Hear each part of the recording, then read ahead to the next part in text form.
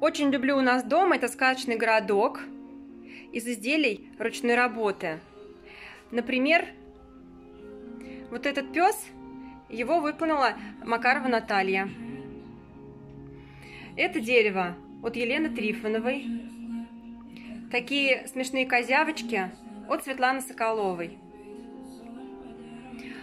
Вот эти очень красивые фаянсовые яблочки выполнены в технике кракле.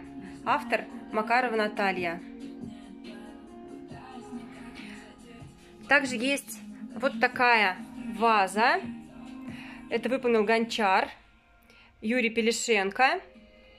Вот такая классная сова и кружка ручной работы от Натальи Гребенниковой. Конечно же, кот рыбак и конь от Евгения Жадеева. И вот такая замечательная колонна от Юрия Рожкова. А также еще есть подарки от Александра Даниленко. Это изделие, выполненное из бронзы. Город Воронеж. Посмотрите, какая красота. Саш, спасибо тебе.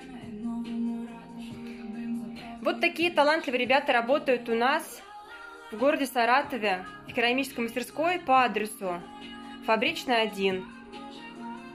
Согласитесь, очень красиво.